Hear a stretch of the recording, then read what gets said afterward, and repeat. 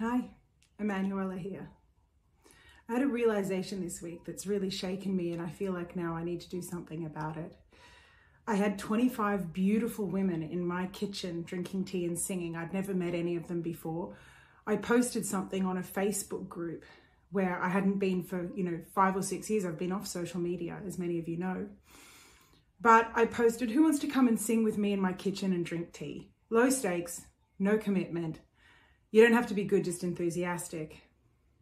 Now, I don't know much about social media, so I thought no one was interested. And it wasn't until the admin approved it a day later, and I had 400 messages in a 48 hour period. I had 150 women join a group just from my neighborhood by the end of the weekend. What this told me is that there is a deep, profound need for people to feel that they have ownership of their own voices. In inviting this group of women, I could only fit 25, so I'm running as many of these groups as I can in 25 lots until we find a bigger place to go. But inviting these women into my kitchen and spending time with them, just 90 minutes of singing music that was simple, it was unscripted, it was call and response, it was listening to each other in a meaningful way. I realize that the stakes are so high so often in our lives when we hear our own voices, and we very rarely have an environment where we can listen to our own voice and listen to the voice of those around us. And if we make a mistake and if we get it wrong, it's still okay. I've been thinking about this. How can I help you, not just women? You know, obviously as a mum, this is the group I've landed myself in is is the local mums group and and I see this growing, but I work with beautiful men as well every day that feel that their voice isn't being heard. And these are people that are high achievers. They are intelligent. They have a lot to offer the world. They do good in the world. And yet they live with the fear and concern that their voice isn't being heard, the fear that they're not going to be taken seriously, the terror of dying alone because no one heard their voice.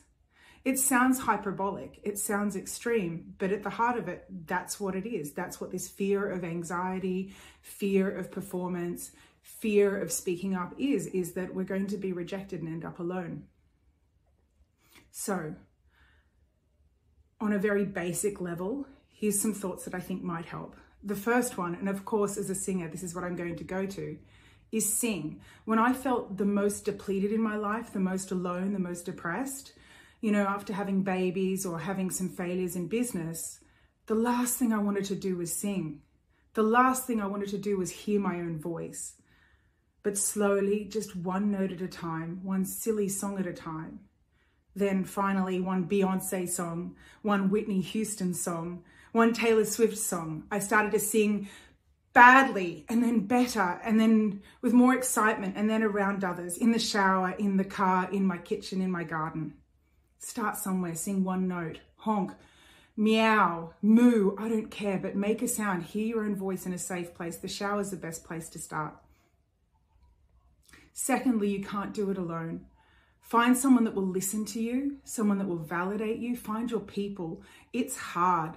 Since I moved to Melbourne 10 years ago, this is one of the most difficult cities I've ever found to find friends in. But keep going, keep looking for your people because they will reflect back at you, hopefully in an honest way, in a validating way.